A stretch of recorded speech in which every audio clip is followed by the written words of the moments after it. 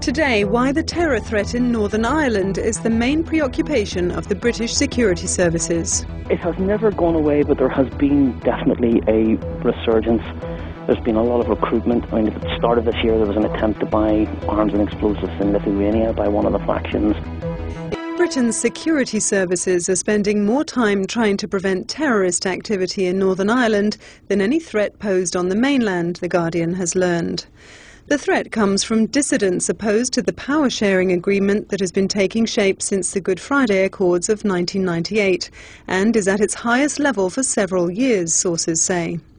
I asked our Ireland editor Henry McDonald for more on what the police and security forces have been saying. They're saying the threat is quite high. Now, Hugh Orde, the Chief Constable of the PSNI, has even gone to the extent of saying it's the highest it's been in terms of threat level since he became chief constable. So I think that in itself, that statement gives you an indication of the seriousness of the situation at the moment. And where do they think the threat is coming from? The threat is outside Greater Belfast. It's in the rural areas, particularly the border Fermanagh and Tyrone and the city of Derry are the three, if you like, hotspots. Are, are these groups or individuals? Give us some background about the, these potential terrorists. These are groups, but they're very disparate groups. So, for example, it, in Derry City, it would be the uh, faction of the Real IRA who are who pose a threat. In County Tyrone, it would be former members of the Provisionals who are now calling themselves an organisation called Óglaigh na hÉireann, and they would be comprised of people who would have a lot of experience in terrorism, paramilitarism.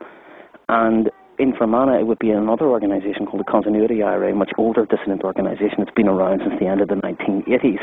So essentially, what you have is a, a mixed mash of different factions in different areas, and that's probably their, their one weakness I, uh, that I'm highlighting in the Guardian t- today. That it's the, their their disparity and the fact that they don't have any unified command is what's making the drive against them, the security drive against them, somewhat easier. Nonetheless, it's thought that they could create a, a certain amount of havoc if they uh, if they wanted to, or if, they, if they're not prevented from doing so. I, indeed, they could, but I think it's a measure of the success of the secret war against them at the moment and the fact that there's so much human and technical resources being poured into countering the threat that they haven't really got what they want, essentially, which is, to be blunt about it, a kill.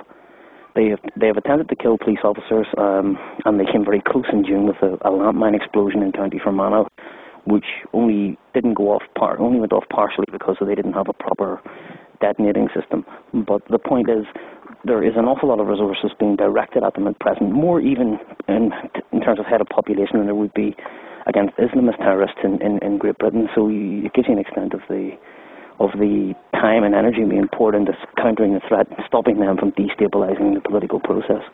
So tell us a bit more about the, the kind of targets that security services believe might be in the firing line. The target range is widening. I, I have discovered that it isn't just police officers who are now in the in the crosshairs of these terrorist groups.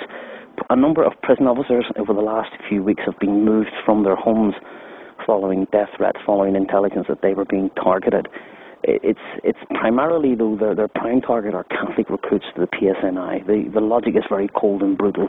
If you shoot Catholic recruit to the PSNI, it may deter other Catholics from joining the force and thus preventing them from preventing the force itself from becoming a kind of more balanced, reflective police force for the entire community. It's quite it's quite cynical logic, but it, it works. It worked in the early 1970s.